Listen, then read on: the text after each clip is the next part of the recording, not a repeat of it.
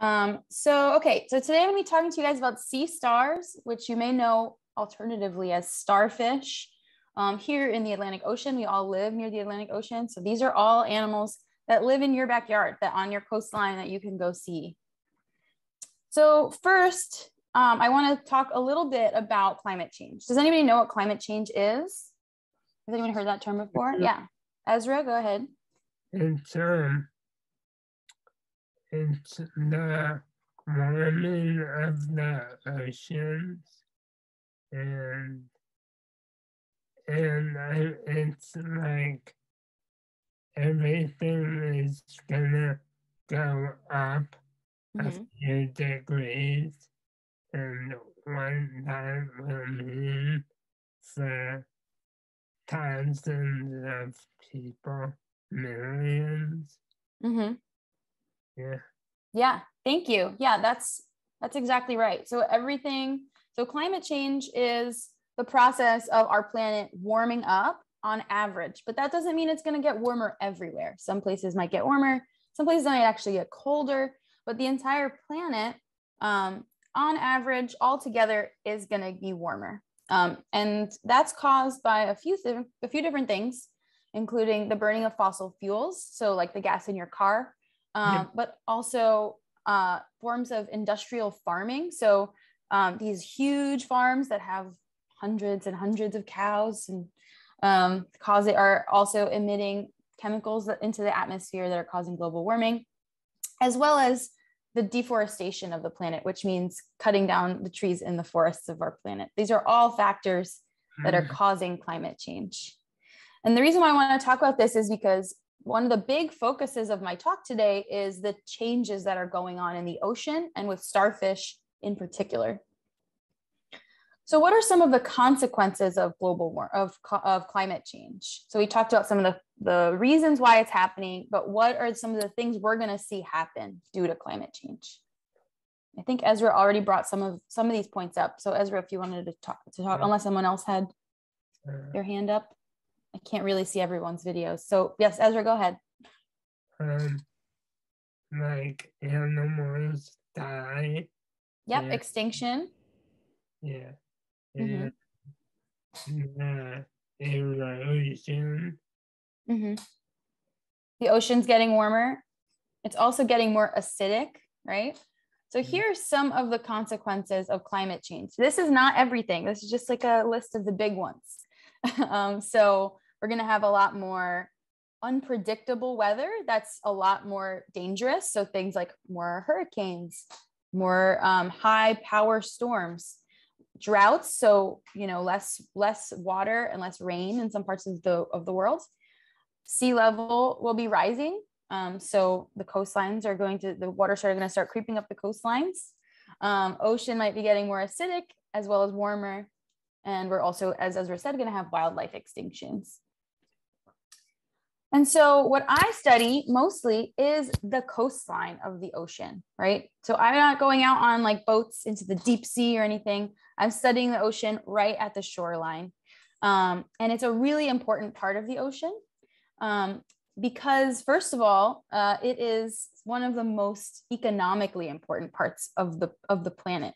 Lots of people want a beach house, and lots of people want to go stay at a hotel on a beach, right? So, it's one of the most highly developed and highly sought after expensive kind of properties. So there's a lot of pressure to develop these areas and not keep them pristine and the same as as they were. Um, and one of the reasons why that's not a good thing is because they're really really important for the environment. They provide us with a lot of uh, important services. So here is a picture of a little tiny baby lobster. Um, so lobsters are really, really cute. Um, they look exactly the same when they're babies as they do when they're adults. They're just tiny versions. Um, and lobsters are obviously really expensive, right? When we want to eat them, we have to pay a lot of money. um, and so they're a really economically important thing from for the for especially New England. And lobsters live their first couple of years um, right at the coastline um, in what we call the intertidal zone, the area between high and low tide, um, because it's a really safe place for them. There aren't big fish or other big animals to eat them. So lots of animals spend the first couple years of their lives um, uh, in this area that's very exceptionally safe, and then they move on to the ocean. So it's really important to keep the and uh, the the marine coastline also buffers our our cities from storms. So if we keep them intact, don't put cities right on top of them. There's a little bit of buffer there from we have these really big hurricanes and storms. Uh, yeah, Darian, you had a question? How, yeah, my question was how about like um, shrimp? Does, is that affected by climate change too? Yeah, yeah, they're very much affected by climate change. So shrimp are also, um, you find them in this area between high and low tide. Um, and they also um, have are under a lot of threat because they're developing these areas that are normally shrimp habitats. Um, they also um, are affected by the ocean becoming more acidic. So shrimp have these little shells on them, right? When you peel a, you have to peel a shrimp and take its shell off to eat it, right? Um, and they are unable to build that shell effectively. So they can't build their shell properly when the ocean is more acidic than it should be. So they're under a lot of threat. And that's why there's a lot of shrimp farms now. So they can't really find the same numbers of shrimp as they used to um, in the ocean. They've been overfished. So people have been taking too many of them out and they're also not doing well for other reasons. So now we're farming them. Um, and so most of the shrimp you find in the supermarket has been come, has come from a shrimp farm. Mm. I thought I saw another hand up. Did someone else have a question? Yeah, Paula. I also am concerned about like animals that live in a habitat that people destroy with fire. Mm-hmm. And also, my father is allergic to sh- lobster. He can't My mom have is also allergic a, to lobster. His esophagus could freeze up. He could eat the shrimp. But I'm really concerned about the animals and the habitats that are being destroyed by these people. And not mm-hmm. to mention the animals being killed by poachers. I'm just so tired and it makes me really upset about it. Yeah, yeah, that is a big problem, um, especially poaching in some parts of the world. So, so places like like Africa have a really big problem with poaching of large animals like lions and rhinos, things like that. Um, there isn't a lot of poaching going on in the ocean, luckily. Um, and obviously, fire isn't a big concern for the ocean. Um, but it is a big concern in places like California, right, where there's a lot of wildfires. Mm-hmm. And my mom's also allergic to lobster, Paula. So, um, so specifically in the coastline, I study what's known as the Rocky Intertidal Zone. So I mentioned this before, but the intertidal zone is the area between high and low tide. So sometimes you go to the beach, right, and the water is really, really far away, and there's lots of seaweed and the sand. And that's because it's at low tide and the water has gone out. Mm. And if you stuck around for like 10 more hours, you would you would be there at high tide and the tide will have come back in and covered up all that seaweed. So, but there, there are lots of animals that live in that area between high tide and low tide. We call those intertidal animals.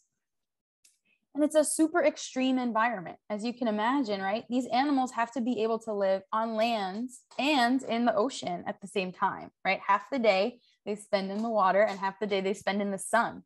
So they're really cool animals that live here. Um, and specifically, I study intertidal uh, environments that are on in rocky shores. So some intertidal environments are on sandy shores, right? So if you go to Cape Cod, um, you're going to see a lot of sandy beaches and that has a bunch of different types of animals than somewhere that would have a rocky beach so somewhere like blue hill or acadia or and lots of other parts of maine um, and because and because uh, intertidal animals live in both the ocean and on land they are um, under threat from uh, from things on both of those uh, systems right? So all the things that you worry about with land animals and all the things you worry about for ocean animals sea stars and you know uh, sea urchins and all of these intertidal animals have to worry about both of those things because they're they live on both of those types of environments. So for that reason they're really important to study um, to understand what's going to happen with climate change because they're sort of like our early warning system. Um, they're under some of the most threat. And this is what I study here. It's a sea star, also known as a starfish. Has anyone ever seen a starfish in the wild or have or maybe in a touch tank at an aquarium? Yeah, Ezra has seen it in a, probably in Maine. And um, sorry, I don't remember your name because your name on Zoom is Godzilla. Oh, sorry, my name's Max. Max, okay. I, I just like customizing my name. Sorry. Yeah, I know it's a really cool name. I just sorry, I forgot your I forgot what you had said it was. Yeah, so uh, they're they can be kind of tough to find in the wilds, but they um, they're super cool, right? You can hold them. They have these little tube feet and stuff. Um, so um, I'm actually going to skip over this, but there's um, there are about 1,500 species of starfish that we've described. Um, and they're all super different from each other. So you probably know of the classic starfish, right? It's probably something that's like on the bottom left there. That's like a that's an ochre sea star that's found in the west coast. It's the purple and orange, right? You see pictures of those a lot. But but not all starfish have five legs. Um, some of them, like this one up in the top right, is called a crown of thorns starfish. It is actually venomous um, and it eats corals. So it like it's very invasive to um, the Great Barrier Reef. It walks around on the reef and it eats up all the corals. And if you touch one of the spikes, it's not like deadly venomous, but it will give you a little bit of a rash. Um, and so the bottom right there, that is a sunflower star. It's also purple and they can have like 36 legs. They're also just enormous. They can be like the size of a manhole cover, like the size of a, of a car tire, those things. Wow. Yeah, they're amazing. They're also found mostly on the West Coast. So don't go looking for those over here. Mhm. Um, and then my favorite sea star is the one on the top left. It's called a, a slime star. Um, and as a way of defending itself from other animals eating it, um, it coats itself in a layer of toxic slime as soon as you try to pick it up. Um, it's super cool. It's one of my very favorite animals. Um, this is me holding one, and also on the west coast.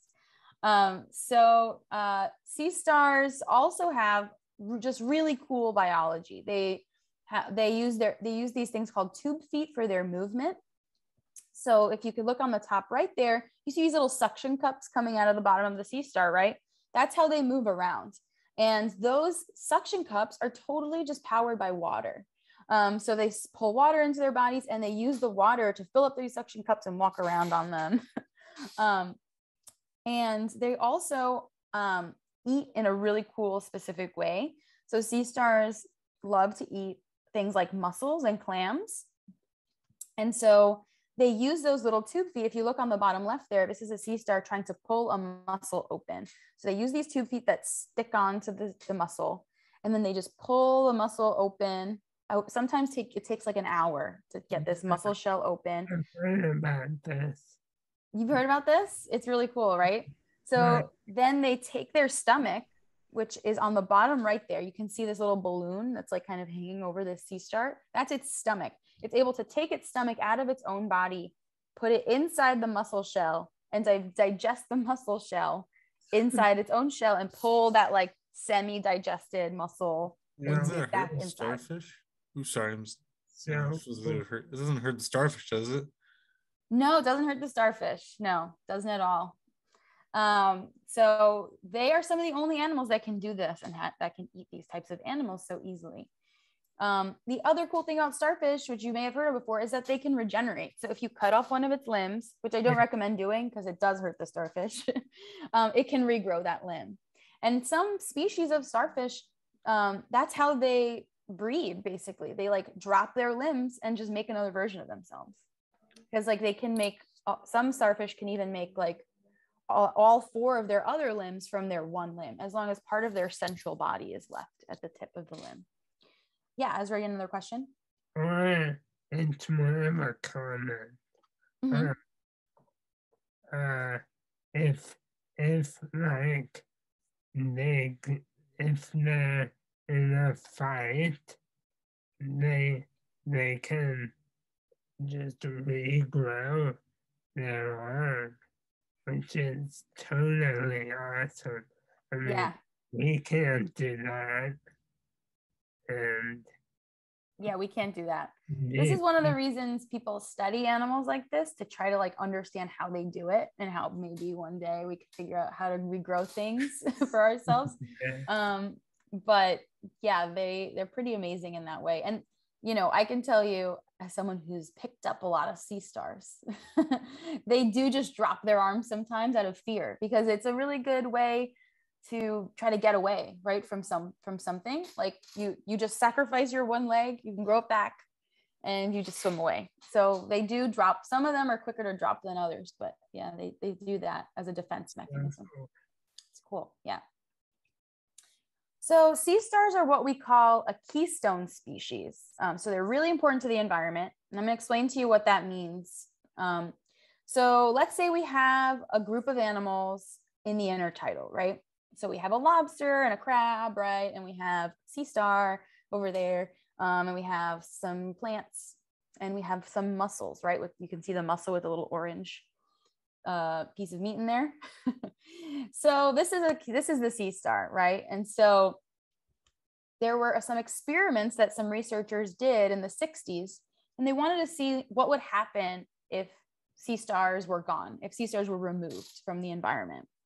So they took all the sea stars from certain beaches and they just like threw them into the deep sea or just like put them in a touch tank or something. They just completely removed them from certain beaches in Washington state on the West Coast. And so this is what happened to the rest of the animals in that environment. Sea stars were gone. And so slowly, this is what we saw happen over time. So this is what we were left with, just a bunch of mussels. So it went from this, which what we which is what we call a diverse community, right? Lots of different species, to just this, just some mussels. And that's what this looks like, right? This is a beach that's just covered in mussels. So can you guys guess why this may have happened on a beach on when we remove the sea stars?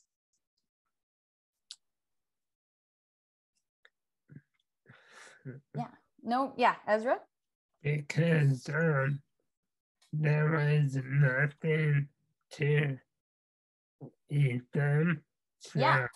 the population exploded.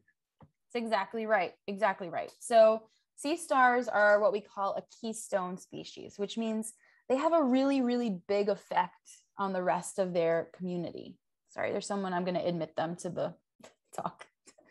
Um, so they have a really, really big effect on the rest of their community. Um, and um, they do this because they prefer to eat mussels over anything else. And, see, and mussels are what we call a dominant competitor. They can outcompete pretty much anything else because they can just like place themselves on a rock and they're almost impossible to pry off. So they just like take up all of this space and crowd everything else out. And the whole beach just becomes a mussel bed instead of a diverse community full of other animals. So sea stars kind of keep mussels in check. They keep them at the population level that they should be um, when they're there. When they're removed or when they start to go extinct, um, it becomes a problem because all of these other species get pushed out by mussels. So I work on two species of sea star that are in the Atlantic Ocean here in the North Atlantic, mostly uh, so between you know Canada down to Florida, and they're these two species in the genus Asterias. So gen- Asterias rubens is on the left. That's the more northern species. Asterias forbesi on the right is this more southern species.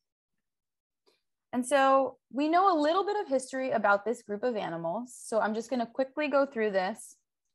So at one point in many millions of years ago, there was just one species of this of this type of sea star called the Asteria sea star, and it was only on the Pacific. It was in the on the west coast, like sort of in the like um, Alaska area, right? Um, at some point, about three and a half million years ago, um, there was an opening um, that opened up uh, that wasn't open before. It was covered in ice, and all of these sea stars came over to the Atlantic. Once they were here, they split into two separate species, and now there was one on in Europe and there was one in North America. And then the European species came over here. we don't know when that happened, but now they both they are both on the east coast of North America. So does any can anyone guess what kind of science is used to figure this out? These like this history from millions of years ago, right? Nobody was around to see this happen, right? So what what kind of science do you think we use to figure out what how this happened? Any guesses? This is a really tough question and most people don't don't get it. Mm, So lots of people guess fossils, right? So sometimes you can tell this with fossils, but sea stars, there aren't a lot of fossils of sea mm. stars because they have kind of soft bodies. So it doesn't, they don't preserve well. So the way we know this is through genetics, actually. So this is what genetics research looks like. I spend most of my days looking at a computer screen with this on it. so just like strings of DNA, right? And I have DNA from lots of different sea stars. So I have hundreds of samples and I compare them to each other. Um, and you can tell from the DNA of lots of different individuals from different places what their history was. So you can, um, what we, we call infer the history of a population based on its genetics. And one of the questions I am asking with my research is whether or not these sea stars are hybridizing. Have you ever, has anyone ever heard of a hybrid? yeah. Yeah, Ezra, do you have, oh, and Paul, actually, let's give it to Paula this time. So Paula, what is a hybrid? Well, I know I've heard like coywolves that are hybrids and also wolf hybrids. I've also heard of a savannah cat, which is between a serval and a house cat. That's, yeah, that's exactly right. So what do those things all have in common, right? You're breeding a They're serval. Yeah, you're breeding a serval with a house cat and you're getting a different species, right? Right. So a hybrid is an animal that has a parent from parents from two different species, and they're able to breed together and make offspring or uh, you know a baby. So um, for a long time, people thought that these two species were able to hybridize, but no one had ever been able to show it with genetics. So I went out and I did a bunch of sea star sampling, and that's what this looks like. Okay, these are all pictures of me doing field work. Up on the top left, I'm in Nova Scotia. Does anyone know where that is? Mm, Yeah, right. It's in the it's up in Canada in the Bay of Fundy. Um, some days you find 40 sea stars on the same beach, right? That's this bucket full of sea stars. But most days you find almost none. They're really hard to find. Um, and I use my car as my mobile lab. so I would pull my bucket of sea stars back to my car and then sample tube feet out of the sea stars. And then I would put them all back. So I didn't have to kill any sea stars for this research. Um, and sometimes I even used what I call what we call a dry shipper. That's the thing in the middle there that has like smoke coming out of it that instantly freezes your samples. So your DNA is perfectly preserved. Um, so it was super fun. I got to travel all over the country, well, all over the East Coast um, for several years looking for samples.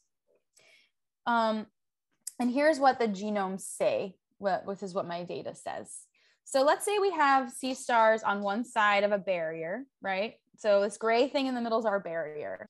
Let's say we have sea stars on one side of a barrier and sea stars on another side of a barrier. So they aren't able to cross cross cross into the barrier, across uh, the barrier and breed with each other, right? They're completely separated. Let's say there's like a giant seawall in between them. So this is what their gen- genetics might look like, right? All of the ones on the left are going to be completely different from all the ones on the right. All the ones on the left are green. All the ones on the right are orange. Now let's say that barrier goes away, right? This is what we might see. The ones that are close to each other might be able to breed with each other, and then their genomes will look mixed, right? Does everyone understand?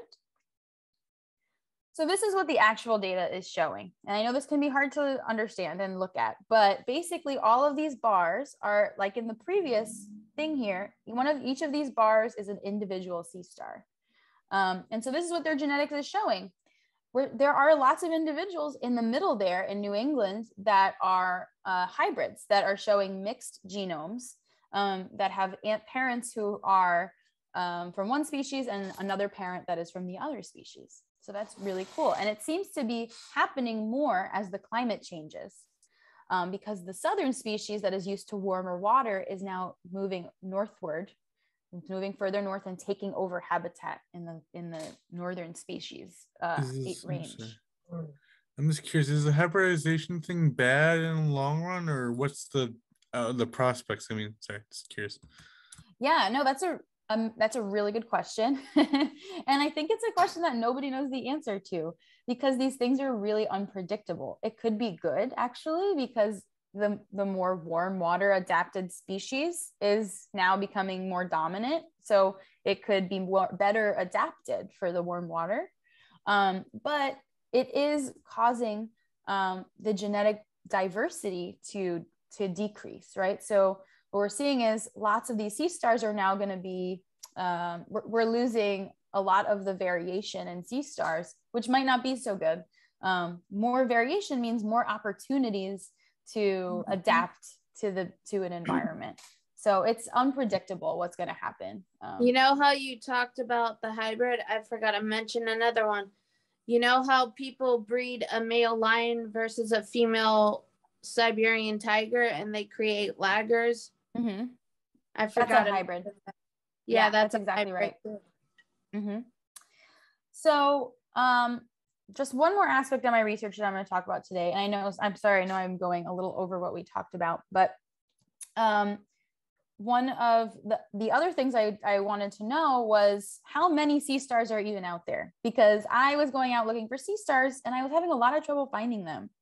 So, the last time someone wrote about this was in the 70s, the 1970s, and they were finding sea stars all over the place. They were finding 20 sea stars per square uh per quarter meter square so like per like a box this big they were finding 20 sea stars in it. And i was finding sea stars like once every other day right? So it was a lot it was a lot different.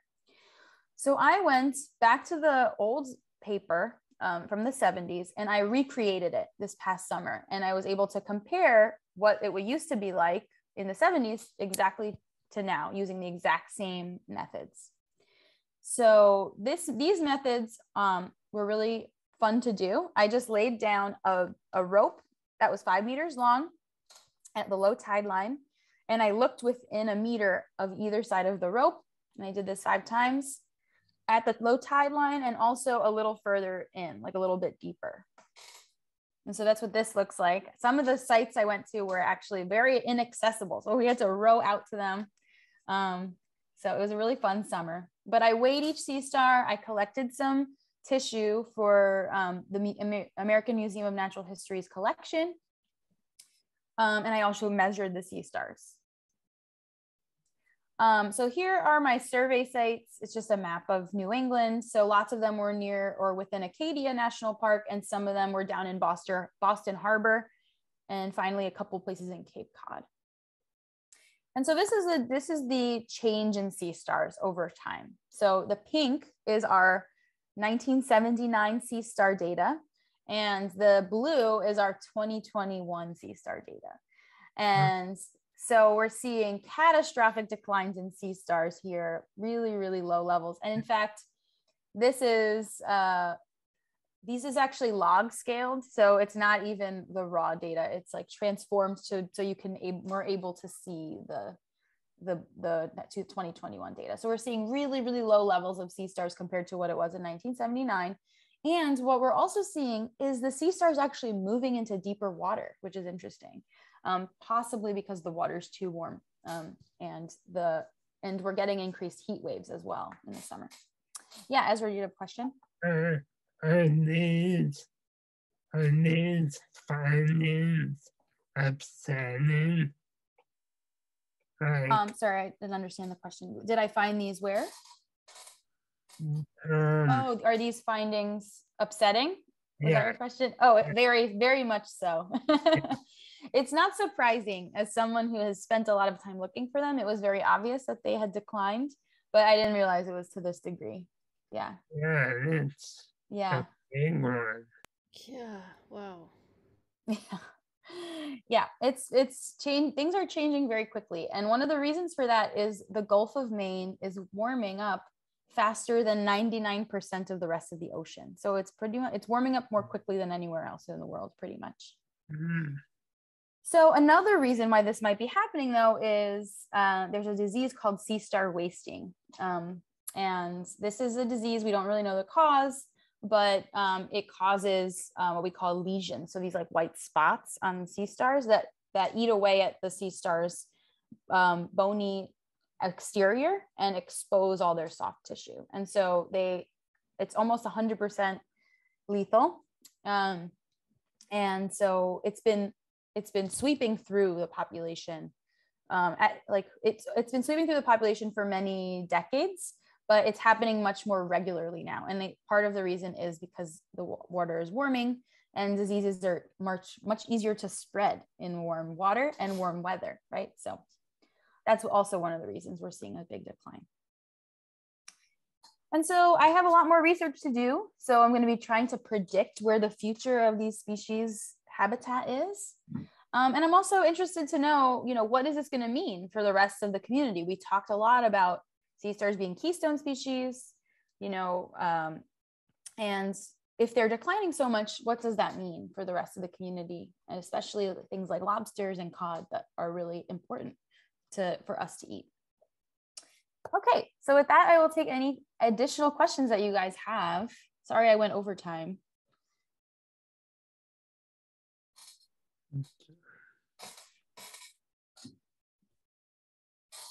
I think Darian um, has our first question. Oh, yeah, Darian, go ahead. Um, so when we we go for a walk at our beach down here and we have found starfish on our beach, uh, what should we do with them? Should we put them back in the water or just leave them be? And will they eventually get back in the water themselves? Yeah, that's a good question. So um, normally they can, if normally they aren't too, if, if you find them like on the ground, it's usually like really low tide and the tide will eventually come back in and cover them up. Now, if they look like, you know, they're really drying out or if they look like, you know, they're getting really like floppy. So, so if you pick up a sea star and it really feels really floppy, it's because there's no water in it. Um, and so it might be drying out. So that would be, it would be nice to put it back in the water, I think, if you find them, if you find one on the beach. You can't really hurt them too badly. They're really actually hardy animals. So picking one up, putting it in the water is not going to hurt it.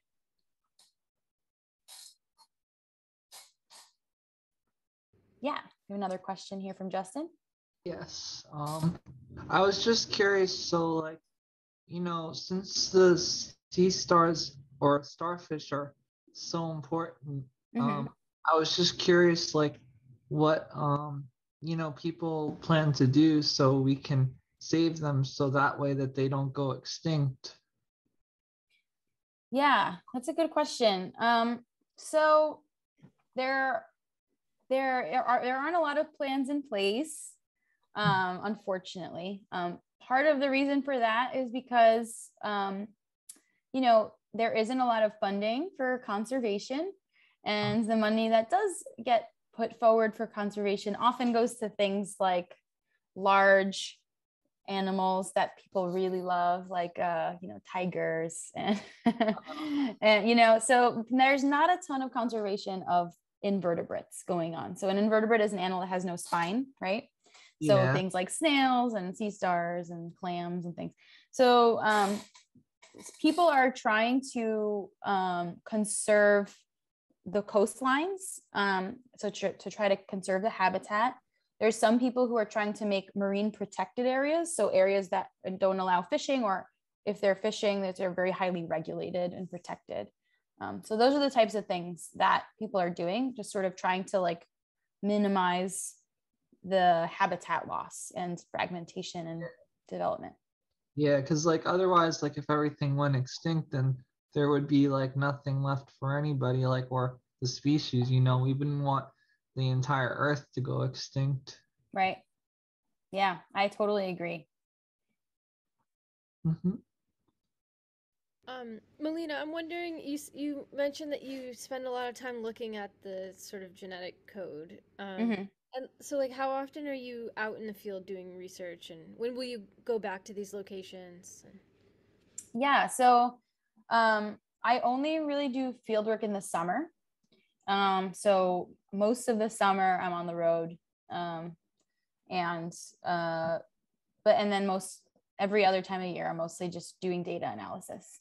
Yeah, there's a couple times here and there where I travel for you know conferences and workshops and things like that. Um, but mostly I'm an- analyzing data until May or June, and then I'm in the field until like September.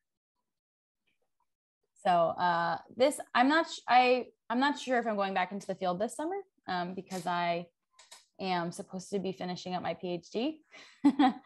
so uh, we'll see. But if I get more funding, maybe. Good luck. Thank you.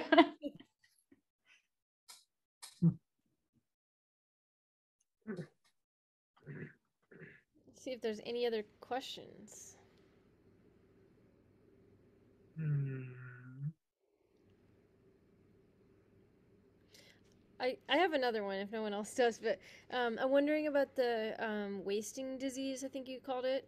Mhm. Um, and I don't know if I missed this, but um, is there any concrete information about the cause? And no. yeah so there's a couple of um so this has been a problem that's been studied in sea stars for like 40 years like it's uh it's been really well documented on the west coast. They've been they've had a, like so that big sunflower star that's like the size of a car tire that species has been really hard hit. Like it's it, it was really hard hit and it's not coming back as much um, as some of the other species that have been affected. Um, and there has been some evidence that there's a virus that's associated with the disease, but um, it's not like a it's not a definitive link. So some individuals that are tested have the virus and don't have signs of wasting disease. And some in, individuals have wasting disease and they can't find traces of the virus but it, there is an association. So, like the more virus you have, the more likely you are to be showing symptoms. Um, so th- there isn't like a there isn't a clear answer what to what's going on. One of the things that people think is, you know, there's so many stressors for sea stars right now. There's like loss of habitat. There's less mussels that they can eat. There is um, warming oceans and ocean, ocean acidification and all these things are just like making us feel making them feel weaker and weaker and their immunity is going down and so they're more likely to get, catch this virus and then show symptoms after that so sort of what's happening to everybody right now right we're just like all so tired and like burnt out and stressed out that we're more likely to get sick right and get like you know so it's uh it that's that's the be- the leading hypothesis right now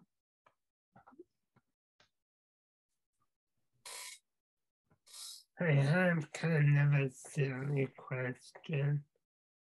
there are no Uh, silly questions No, no, silly. Well, can can sea stars, uh, yeah, sea stars catch corona?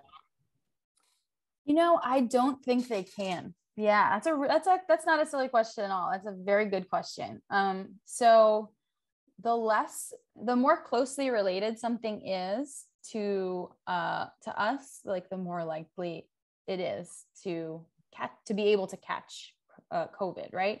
So like your cat probably can catch it, your dog maybe, right? They may not show symptoms the way you do, but they they can catch it because they're they're a mammal and so they're closely related to us. Sea stars are actually the most closely related invertebrate to us. Um, Really? So like they are, yeah. So um, you know, people think of like octopus, right? They have like eyes and they can open jars and things. They're much less closely related to us than a sea star is. Like sea stars are are, are very closely related to us, you know, comparatively. So Hmm. but they but even so they're very distantly related right because they don't even have a spine right they have they don't have a like the same type of brain as us and stuff so they it's unlikely that they would be able to catch covid it, it's like they're too i think they're too far removed from us so the virus hasn't evolved to infect them Plus, it takes a different type of virus to infect something in the ocean than it does to infect something in uh, like the air. Um, it needs to have like saline tolerance and like a different type of protective like cell wall and things like that. But that's a very good question. And that's sort of why like you can you're more likely this is a tangent, but you're more likely to catch some kind of like parasite or uh uh yeah, or bacteria in fresh water than in salt water because it has a much more similar salinity to your body than the ocean does. so it's easier to like infect you and they can survive in you as opposed to the ocean where like if they come into your body, it dies because your body is not as salty as the ocean. That's pretty fascinating. Makes sense too.